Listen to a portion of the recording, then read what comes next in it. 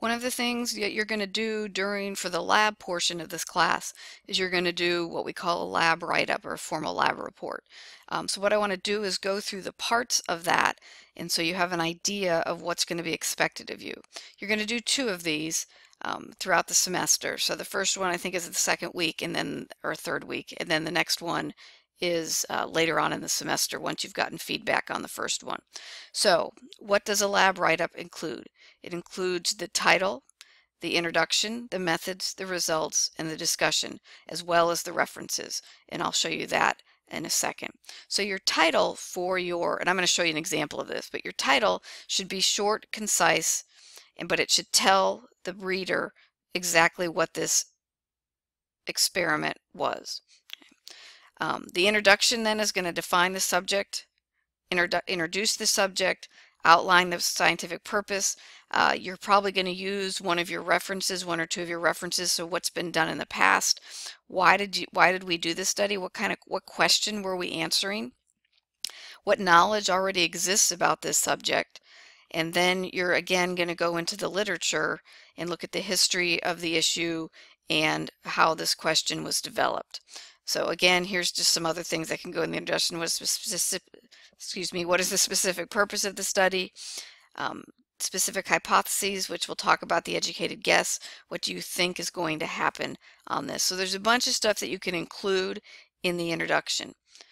The second section is the materials and the methods. This is exactly what you did to complete this experiment. Most people don't put enough detail in this basically what this should be able to do is that if you run this experiment, you should be able to hand it to somebody else or somebody else should be able to read it and they should be able to complete the study exactly as you did it. So again, the biggest weakness when people write this section is they don't put enough detail in. So can a person replicate your study exactly when they read the materials in the method section? The results for you guys is mostly going to be using graphs, but basically this is the numbers you got from the from the experiment. So you ran the experiment. What are the numbers you got? Many times you will report those numbers in graph form, but these are just numbers. These are not, this is not why you think you got the results. This is just pure numbers, pure data. Again, mostly in a graph, but sometimes you might just record the numbers. Now the discussion is your interpretation of the data. Why do you think you got the data you did? You do not want to just repeat what you put in the results. So if you've got numbers in here and your discussion is just saying, well, for this we got this number and for this number of species or this area we got this number, that's not what we're looking for. The results has the number or they have the numbers. Here you're discussing why. So pick out the most interesting parts of the data or the results and explain why you think you got the numbers you did. You also might want to use a reference here, comparing it to other studies that have been done. But again, the discussion is the why of the results. Do not repeat the results. Okay. The works cited or reference section is just going to be what references did you use and if you noticed in the lab information folder there was a, uh, a document you could click on which would link you to sites that will help you do that. So what I did, just to give you an example, is I wrote a fake lab write-up based on the Gorongosa lab that you did. So if you remember from your reading, and you may not have looked at it yet, but when you look at it, they were trying to compare the number of species that existed before a war the Civil War in Mozambique and after the war. So I wrote an introduction based on that. You'll notice, and I made this reference up, I used a reference. Okay, so you want to read this and get an idea of what an introduction looks like.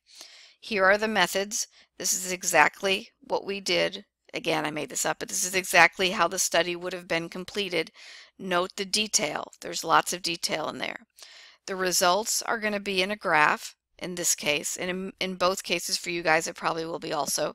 Notice what I did is I made the graph on graph paper, which we supply you, you can download, and then you either have to scan it in or take a picture of it and then include it, insert it into your uh, lab write-up.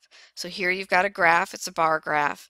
We go through the different types of graphs, but this basically puts the results into a form that are very easy to read. So you, instead of putting a bunch of numbers that might not make any sense, here it's very easy for us to see the comparison of the number of species in each area of Gorongosa before the war and after the war. Then the discussion. Notice I'm not repeating the numbers from the results. What I am doing is I am discussing why we think you got the we got the results that we did. So yes, I may mention that one area had this number of species, but then I explain why. So you do not just want to reiterate or restate the results. You are talking about why. And again, you may use another reference in this section to explain the why. Here I spelled reference wrong, which I just noticed. But then I do the, you can either call this the works cited or the reference page. Here is the reference that I used within the text. So notice that I reference it in the text. I cite it in the text right here. And then in the reference or works cited section, I then put it so that anyone can go find it to look up where you got your information. So that's the basics of doing a lab write-up. And again, you'll be doing two of those during the semester. All right, let's move on.